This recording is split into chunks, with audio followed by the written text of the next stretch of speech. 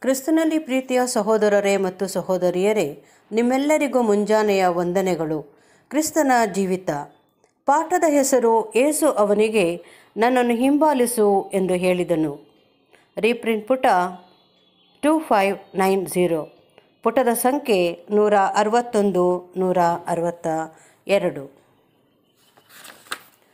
ಪ್ರತಿಷ್ಠಿತವಾದ ಆ ಮನೆ ಗೌರವ ಪಡೆದದ್ದು.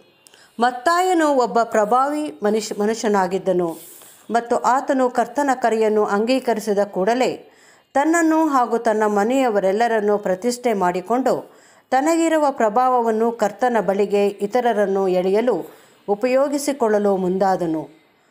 ತನ್ನಲ್ಲಿರುವ ಶ್ರದ್ಧಾ ಭಕ್ತಿಯನ್ನು ಪ್ರಕಟಿಸಲು ಅನುಕೂಲಕರ ಸನ್ನಿವೇಶ ಮತ್ತು ಅನುಕೂಲಕರ ವಿಧಾನವನ್ನು ಬಳಸಿಕೊಂಡು ಆ ಮೂಲಕವಾಗಿ ಸಾಧ್ಯವಾದಲ್ಲಿ ಕೆಲವರನ್ನು ಗಳಿಸಿಕೊಳ್ಳುವುದಕ್ಕಾಗುವಂತೆ ಮಾಡುವವನಿದ್ದನು. ಈ ಉದ್ದೇಶಕ್ಕಾಗಿ ಕರ್ತನಿಗೂ ಆತನ ಶಿಷ್ಯರಿಗೂ ತನ್ನ ಮನೆಯಲ್ಲಿ ಒಂದು ಔತಣವನ್ನು ಏರ್ಪಡಿಸಿ, ಅದಕ್ಕೆ ತನ್ನ ಅನೇಕ ಸ್ನೇಹಿತರನ್ನು ಹಾಗೂ ವಾಣಿಜ್ಯ ವಹಿವಾಟಿನ ಜೊತೆಗಾರರನ್ನು ಸಹ ಕರೆದಿದ್ದನು. ನಮ್ಮ ಪಾಠದಲ್ಲಿ ಅವರನ್ನು ಅನೇಕ ಸುಂಕದವರು ಮತ್ತು ಪಾಪಿಗಳು ಎಂದು ಕರೆಯಲಾಗಿದೆ. ಪರಿಸಾಯರು ಮತ್ತು ಶಾಸ್ತ್ರಿಗಳಿಂದ ಸುಂಕದವರು ಏಕೆ ಬಹಿಷ್ಕರಿಸಲ್ಪಟ್ಟರೆಂದು ನಾವು ನೋಡಿದ್ದೇವೆ. ಅದು ಅವರು ಕೆಟ್ಟವರೆಂಬ ಕಾರಣಕ್ಕಾಗಿ ಇರಲಿಲ್ಲ. ಆದರೆ ಅವರ ವೃತ್ತಿಯನ್ನು ಕೀಳಾಗಿ ಕಾಣುತ್ತಿದ್ದ ಕಾರಣಕ್ಕಾಗಿತ್ತು. ಹೀಗೆ ಸಾಮಾಜಿಕವಾಗಿ ಮತ ಅಂದರಿಂದ ಬೇರ್ಪಟ್ಟವರಾದ ಸುಂಕದವರು ಪಾಪಿಗಳು ಎಂಬ ವಿಭಿನ್ನವಾಗಿ ಕರೆಯಲ್ಪಡುವ ಅಧರ್ಮಿಗಳೊಂದಿಗೆ ಬಹುತೇಕವಾಗಿ ಸಾಮಾಜಿಕ ಸಂಪರ್ಕ ಹೊಂದಿರುವ ಒತ್ತಾಯಕ್ಕೊಳಗಾಗಿದ್ದರು. ಪಾಪಿಗಳು ಎಂಬ ಪದವನ್ನು ನಾವು ದುಷ್ಟ ವ್ಯಕ್ತಿಗಳು ಅಥವಾ ಕೆಟ್ಟದ್ದನ್ನು ಮಾಡುವವರೆಂದು ತಿಳಿದುಕೊಳ್ಳುವ ಅಗತ್ಯವಿಲ್ಲ. ಆದರೆ ಅವರು ಪರಿಸಾಯರು ಹೇಳಿಕೊಳ್ಳುವಂಥ ಪರಿಶುದ್ಧತೆಯನ್ನು ಪಡೆಯಲು ಯತ್ನಿಸಿದವರು ಇಲ್ಲವೇ? ಹಾಗೆ ತೋರ್ಪಡಿಸಿಕೊಳ್ಳದವರು, ದೈವ ನಿಯಮವನ್ನು ಪೂರ್ಣವಾಗಿ ಕೈಗೊಳ್ಳದವರೆಂದು ಹೇಳಿಕೊಳ್ಳದವರು. ಪಾತ್ರೆ ಬಟ್ಟಲುಗಳನ್ನು ಹೊರಗೆ ಪೂರ್ಣವಾಗಿ ಶುಚಿ ಮಾಡುವವರೆಂದು ತೋರಿಸಿಕೊಳ್ಳದವರು ಆಗಿದ್ದರು. ಆದರೂ ಅವರು ಹಲವು ಸಂದರ್ಭಗಳಲ್ಲಿ ತಮ್ಮನ್ನು ಪೂರ್ಣ ಶುದ್ಧರೆಂದು ತೋರ್ಪಡಿಸಿಕೊಳ್ಳುವ ಪರಿಸಾಯರಿಗಿಂತಲೂ ಅಂತರ್ಯದಲ್ಲಿ ಬಹುಶಃ ಹೆಚ್ಚು ಶುದ್ಧತೆ ಉಳ್ಳವರಾಗಿದ್ದರು ಇದನ್ನು ನಮ್ಮ ಕರ್ತನು ಅನೇಕ ಸಂದರ್ಭಗಳಲ್ಲಿ ತಿಳಿಸಿದ್ದಾನೆ. ನಮ್ಮ ಕರ್ತನು ಸುಂಕದವರ ಮತ್ತು ಪಾಪಿಗಳ ಗೆಳ ಗೆಳೆಯನೆಂಬುದನ್ನು ಓದುವಾಗ ಆತನು ತನ್ನ ಕಾಲದಲ್ಲಿದ್ದ ಪುಂಡರ ಹಾಗೂ ನೈತಿಕವಾಗಿ ಕುಷ್ಟ ಹತ್ತಿದವರ ಸಂಗ ಸಂಗಡಿಗನಾಗಿದ್ದನೆಂದು ಅರ್ಥ ಮಾಡಿಕೊಳ್ಳಬೇಕಿಲ್ಲ ನಾವು ನಿಜವಾಗಿಯೂ ತಿಳಿಯಬೇಕಿರುವುದೆಂದರೆ, ಆ ಕಾಲದಲ್ಲಿ ಬಳಕೆಯಲ್ಲಿದ್ದಂತೆ ಒಂದು ವರ್ಗದ ಯಹೂದ್ಯರನ್ನು ಪರಿಶುದ್ಧ ಜನರೆಂದು ಹಾಗೂ ಇನ್ನೊಂದು ವರ್ಗದ ಜನರನ್ನು ಪೂರ್ಣವಾಗಿ ಪರಿಶುದ್ಧರೆಂದು ತೋರ್ಪಡಿಸಿಕೊಳ್ಳದವರೆಂದು ಹೆಸರಿಸುತ್ತಿದ್ದರು. ತನ್ನ ಸ್ನೇಹಿತರನ್ನು ಹಾಗೂ ವೃತ್ತಿಯ ಜೊತೆಗಾರರನ್ನು ಒಡೆಯನ ಮತ್ತು ಆತನ ಉಪದೇಶಗಳ ಸಂಪರ್ಕಕ್ಕೆ ತರುವ ಮತ್ತಾಯನ ಪ್ರಯತ್ನವು ನಿಜವಾಗಿಯೂ ಪ್ರಶಂಸನೀಯವು. ಹಾಗೂ ಅದು ಕರ್ತನ ಹಿಂಡಿಗೆ ಸೇರಿರುವ ಪ್ರತಿಯೊಬ್ಬನಿಗೂ ತಾನು ಏನು ಮಾಡಬೇಕೆಂದಿರುವುದಕ್ಕೆ ಒಂದು ಒಳ್ಳೆಯ ನಿದರ್ಶನವೂ ಆಗಿರುವುದು. ತನ್ನ ಪ್ರಭಾವವು ಎಲ್ಲಿ ವಿಶೇಷವಾಗಿರುವುದೋ ಅಲ್ಲಿ ಅದನ್ನು ವಿನಿಯೋಗಿಸಲು ಪ್ರತಿಯೊಬ್ಬನು ಯತ್ನಿಸಬೇಕು. ತನಗೆ ತಿಳಿದಿರುವವರಲ್ಲಿ ಹಾಗೂ ತನ್ನನ್ನು ತಿಳಿದಿರು, ತಿಳಿದಿರುವವರಲ್ಲಿ ಅಲ್ಲದೆ ತನ್ನ ಹಿಂದಿನ ಪ್ರಾಮಾಣಿಕತೆ ಮತ್ತು ಒಳ್ಳೆಯ ನಡತೆಗಳಿಂದ ಒಳ್ಳೆಯ ಪರಿಣಾಮ ಹೊಂದಿದ ಇತರರಲ್ಲಿ ಅಥವಾ ತನ್ನ ಜೀವಮಾನದಲ್ಲಾದ ಅಮೂಲಾಗ್ರವಾದ ಬದಲಾವಣೆಗಳು ಬಹುವಾಗಿ ವ್ಯಕ್ತವಾಗುವುದನ್ನು ಕಂಡವರಲ್ಲಿ ತಾನು ಪ್ರಭಾವ ಬೀರಲು ಯತ್ನಿಸಬೇಕು. ನಮಗಿರುವ ಮತ್ತೊಂದು ಪಾಠವೆಂದರೆ ಅತಿಥಿ ಸತ್ಕಾರವನ್ನು ಸತ್ಯ, ಪ್ರಚಾರ ಮಾಡುವ ಸಾಧನವನ್ನಾಗಿ ಉಪಯೋಗಿಸಿಕೊಳ್ಳುವುದರ ಔಚಿತ್ಯ.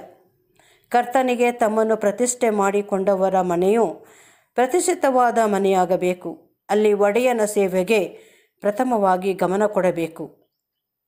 ಅದರ ಪ್ರಭಾವವು ಕರ್ತನಿಂದ ಕೇಳಿ ಕಲಿಯುವುದಕ್ಕಾಗಿ ಆತನಿಗೆ ಸ್ನೇಹಿತರನ್ನು ಕರೆತರುವಂತಾಗಬೇಕು. ಅನೇಕ ಸಾರಿ ಮನೆಯನ್ನು ಪ್ರತಿಷ್ಠಿಸುವುದು ನಿರ್ಲಕ್ಷ್ಯವಾಗಿ ಅಲ್ಲಿ ವ್ಯತಿರಿಕ್ತವಾದ ಪ್ರಭಾವಗಳು ಬೆಳೆಯುವುದಕ್ಕೆ ಬಿಟ್ಟು ಅದರ ಫಲವಾಗಿ ಅಲ್ಲಿ ಕರ್ತನಾಗಲಿ ಅಥವಾ ಕರ್ತನ ಜನರನ್ನಾಗಲಿ ಸತ್ಕರಿಸಲಾಗದೆ ಆ ಮನೆಯವರಲ್ಲಿ ಆತನ ಧ್ಯೇಯ ಉದ್ದೇಶವು ಈಡೇರಲು ಸಾಧ್ಯವಿಲ್ಲದಂತಾಗುತ್ತದೆ. ಅಂಥ ಮನೆಯಾಗಲಿ, ನಿವಾಸವಾಗಲಿ, ಒಂದು ಶ್ರೇಷ್ಠವಾದ ಆಶೀರ್ವಾದವನ್ನು ಕಳಕೊಳ್ಳುತ್ತದೆ. ಹಾಗೂ ಅಂಥ ಮನೆಯ ಯಜಮಾನನ ವಿಷಯವಾಗಿ, ಆತನು ಲೋಕವನ್ನು ಜಯಿಸುವವನಾಗಿರುವನೋ ಇಲ್ಲವೋ ಮತ್ತು ಹೀಗಾಗಿ ಅವನು ಜಯಶಾಲಿ ಆಗಿರುವನೋ ಅಥವಾ ಪ್ರತಿಕೂಲ ಪ್ರಭಾವಗಳು ಆತನನ್ನು ಜಯಿಸಿವೆಯೋ ಎಂಬ ಗಾಢವಾದ ಪ್ರಶ್ನೆ ಏಳಲು ಕಾರಣವಾಗುತ್ತದೆ. ಜಯಶಾಲಿಗೆ ಮಾತ್ರವೇ ಬಹುಮಾನವು ವಾಗ್ದಾನ ಮಾಡಲ್ಪಟ್ಟಿರುವುದು.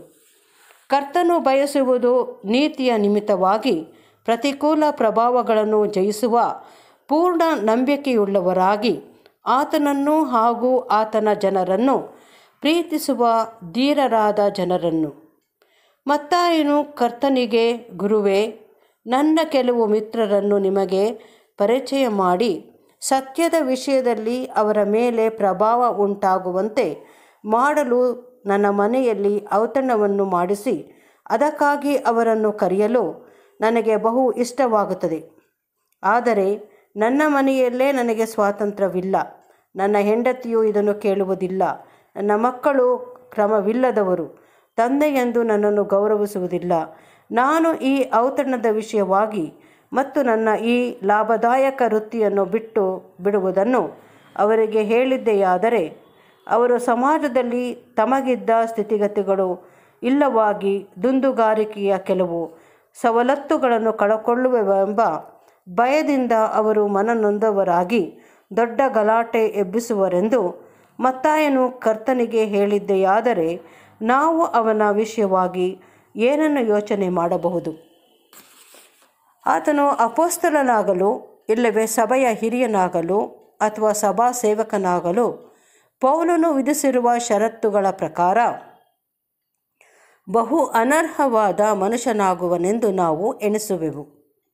ಅಂಥವರು ಸಭೆಯಲ್ಲಿ ಯಾವುದೇ ಜವಾಬ್ದಾರಿಯುತ ಸ್ಥಾನವನ್ನು ಹೊಂದಲು ಯೋಗ್ಯನಲ್ಲವೆಂದು ಆತನನ್ನು ಕಡೆಗಾಣಿಸುವವರಾಗುವೆವು.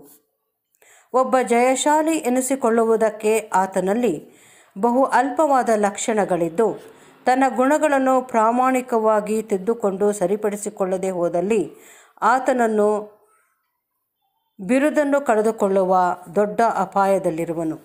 ಮತ್ತಾಯನ ವಿಷಯದಲ್ಲಿ ನಾವು ಬೇರೆ ವಿಧವಾಗಿ ನಿರೀಕ್ಷಿಸಿ, ಆತನು ಬಹು ದೃಢವಾದ ಗುಣವುಳ್ಳವನೆಂಬುದನ್ನು ಕಂಡುಕೊಳ್ಳಬೇಕಾಗುತ್ತದೆ. ಮತ್ತಾಯನಿಗೆ ತನ್ನ ಒಡೆಯನ ಹೆಜ್ಜೆಯ ಜಾಡಿನಲ್ಲಿ ನಡೆಯುವಂಥ ಗುಣಗಳು ಇದ್ದ, ಇದ್- ಇಲ್ಲದಿದ್ದಲ್ಲಿ ಒಡೆಯನು ಆತನಿಗೆ ನನ್ನನ್ನು ಹಿಂಬಾಲಿಸು ಎಂದು ಹೇಳುತ್ತಿರಲಿಲ್ಲವೆಂದು ನಾವು ನಿರೀಕ್ಷಿಸುತ್ತೇವೆ. ಏಕೆಂದರೆ ನಮ್ಮ ಕರ್ತನಾದ ಯೇಸುವು ವಿನಯವುಳ್ಳವನು, ಕರುಣೆಯೂ ಪ್ರೀತಿಯೂ ಉಳ್ಳವನಾದರೂ ಆತನು ಎಂದೂ ಬಲಹೀನನಾಗಲಿ ಅಥವಾ ಗುಣಹೀನನಾಗಲಿ ಆಗಿರಲಿಲ್ಲ. ಮತ್ತಾಯನ ಹೆಂಡತಿ ಮತ್ತು ಆತನ ಕುಟುಂಬದ ವಿಷಯವಾಗಿ ನಾವು ಏನನ್ನು ಯೋಚಿಸುವೆವು?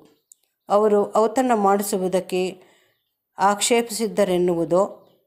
ಭಯಭಕ್ತಿಯ ವಿಷಯದಲ್ಲಿ ಅವನು ನಿರೀಕ್ಷೆ ಇಲ್ಲದವರೆಂದು ಮತ್ತು ಆತನ ಹೆಂಡತಿಯು ಪತ್ನಿತ್ವದ ಮುಖ್ಯ ಲಕ್ಷಣಗಳನ್ನು ತಿಳಿಯದಿದ್ದುದು, ಆಕೆಯು ಆತನಿಗೆ ಸಹಾಯಕಳಾಗುವ ಬದಲು ಅಡ್ಡಿ ಮಾಡುವವಳಾಗಿದ್ದಾಳೆಂದು ನಾವು ನಿಜವಾಗಿಯೂ ಪರಿಗಣಿಸಬಹುದಿತ್ತು. ಹೇಗಿದ್ದರೂ ಕರ್ತನೊಂದಿಗೆ ಒಂದು ವಿಶೇಷವಾದ ಆಶೀರ್ವಾದವು ಆ ಮನೆಗೆ ಬಂದಿತ್ತು.